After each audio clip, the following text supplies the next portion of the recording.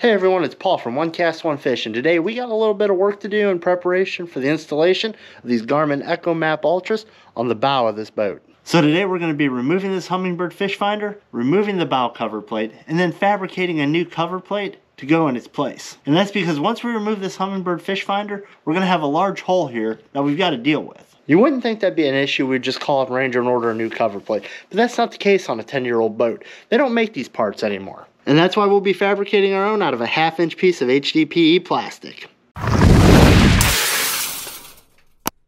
Alright, let's get right into it. We're going to unhook this Universal 2 sonar connector. And we're going to remove this ferrite bead. And that'll take and leave us with the Universal 2 sonar cable connected to the Humminbird that we can take and slide on out and remove when we remove this cover plate. Next up, we're going to remove the remaining screws from the cover plate.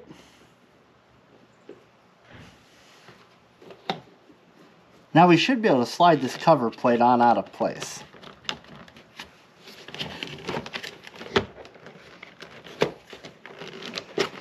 As you can see, we have a lot of connectors here for the fish finder and various bow mounted components. So we're going to start with the easy ones first. Like this Universal 2 sonar cable, we're just going to pull on through. Now we're going to work on disconnecting the mount and removing the Humminbird fish finder. Removing the fish finder should be pretty simple as it's just held on by these mounting brackets and a few bolts.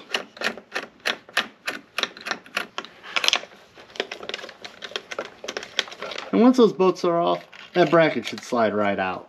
Now we're going to remove the bolts that hold on the trolling motor transducer cable and the power cable.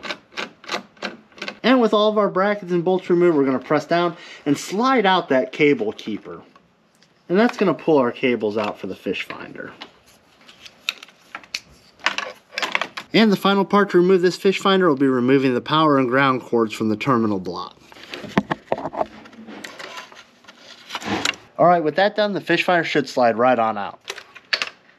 Now with the fish finder removed from the bow plate, all we have to do is remove the wiring and the switches for the lights and the motor tilt and trim. And for this part, things get a little tricky. And that's why before you remove any of the wires, you want to either label them or take a photo so you remember which way they go back. As you can see, there's a lot of connections and wires here, which is why it's important that you always take a picture or label these so you get them back in the correct place.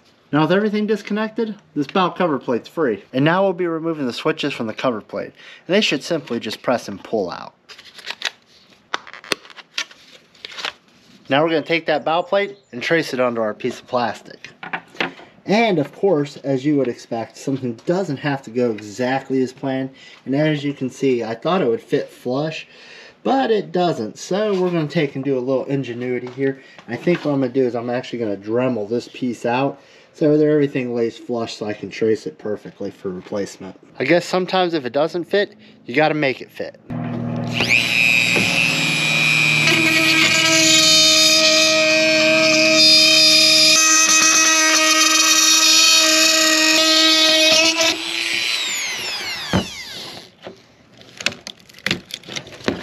Let's see how that works.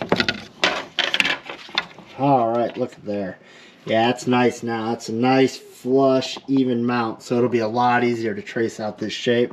Get it exactly right on this board. Now we're just going to play follow the lines and trace out our shape.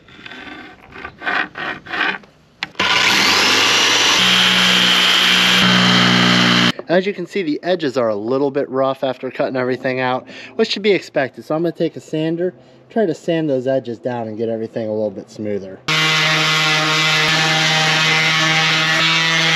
Well, it looks like that sandpaper is doing a pretty good job of cleaning up those edges. However, I'm using a 220 grit sandpaper, so it's a little bit on the light side for trying to get the uh, larger imperfections out. So I'm going to switch to a little bit heavier grit, and we're going to go back at it and we're going to clean this thing up a little bit and see how it fits.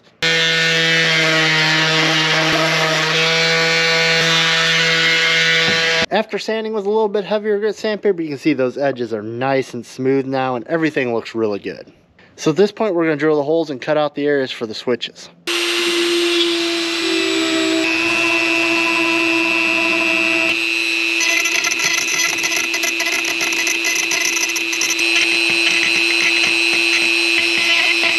Well, that definitely wasn't the cleanest choice because there's plastic bits everywhere right now, but it definitely did a very good clean job of cutting out these holes where our switches are gonna go. So now we're gonna test fit those switches and see how everything looks. Fits nice and tight. Then we're gonna put our trim switch in. Slide it into place. But the real test is see how it looks on the bow. If I say so myself, I think that looks pretty clean.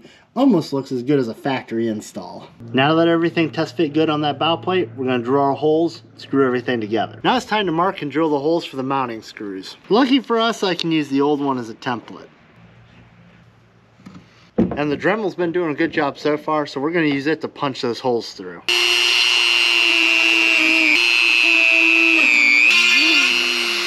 All right, now it's the moment of truth. We're gonna test fit this with the screws and see how everything looks. I'm actually gonna pre-start all these screws so they're barely sticking through the back. So that we can test to see everything lines up before wasting all the extra energy screwing them all the way in.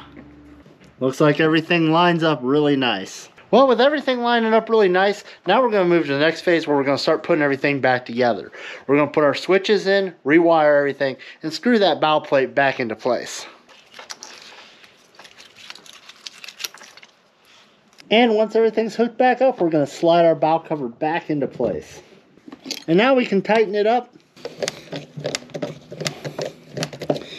Well, that'll do it for the fabrication and install on the new bow plate. Only thing is, we have quite the mess that we need to clean up at this point. I have stuff absolutely everywhere, but everything looks really, really good on this new plate. It's nice and smooth. Everything fits up nice and flush, and our switches fit exactly where they should. So overall, I'm gonna say I'm pretty happy with the way this thing turned out. This was actually quite the project for me as I never actually did anything like this for the boat. So it was a little bit of a learning experience as we went, but everything went good. I'm extremely, extremely happy with how everything turned out.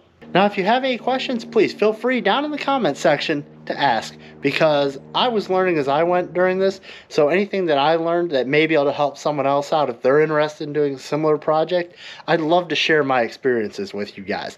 So until next time, appreciate you all viewing and staying tuned. So we'll see you next time on the water.